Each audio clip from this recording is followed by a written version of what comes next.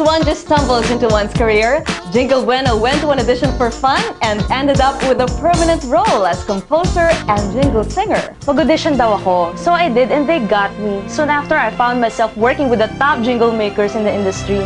Yung composing naman is like an emotional outlet at first until a friend of mine submitted my demo to an album producer and that was Forever Blue and it won the Best Pop Song in the 1998 Cat Awards. I've been a finalist at the Metropolitan and still dreaming of that trophy. It's fun being a composer. Jingle has made music her life and she has not stopped dreaming of reaching higher goals. Para sa akin, paganda ng paganda ang buhay.